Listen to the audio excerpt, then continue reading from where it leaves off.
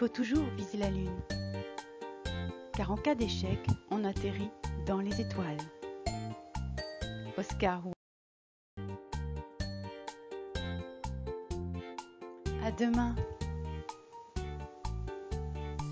Oh oh oh. Oh oh.